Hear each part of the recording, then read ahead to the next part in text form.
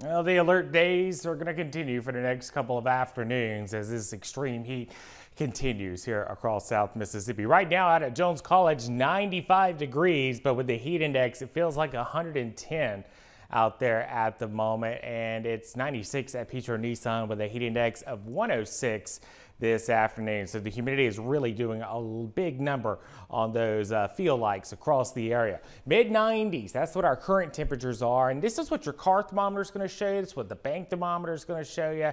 This is the actual air temperature, but it's the humidity that makes that's making this heat wave so much worse. We got a lot of humidity in the air, and that's making the heat index, which takes account for that humidity, just skyrocket. 105, 106, still 110 heat index right now in Collins. So the heat's going to continue to bake us here across South Mississippi this evening. Temperatures will eventually fall back down into the mid 80s after the sun sets this evening, but it's still going to be a warm night across the area.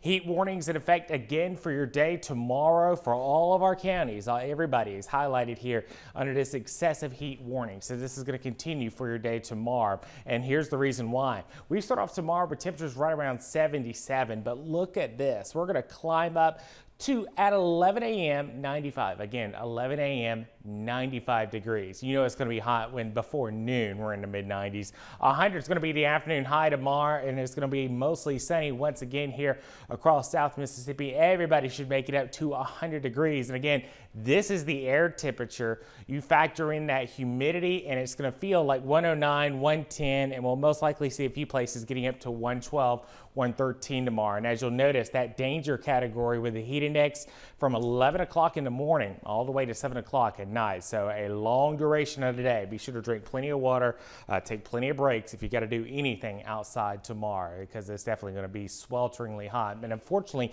this trend does not go away tomorrow. We're going to deal with it through Friday, Saturday, and Sunday, but eventually we're going to see our temperatures going back down, but it's going to take a couple of days and then it'll happen just beyond the weekend. Saturday 99, Sunday 97 but relief is coming. And I showed you this earlier, but I wanted to show you it again. The reason why the relief is coming is our heat dome breaks down and you'll notice by Tuesday we're back down to some of the cherrier reds not this bright burny purple out here that's signs that that heat dome is breaking down and this is the best part we go from 100 on Friday to 93 next weekend hard to believe saying 93 is a cool down but in this case, we'll take whatever we can. Whether it's an ugly win, a pretty win, a win is a win. And you'll notice temperatures next week will continue to fall back down to the eventual low 90s.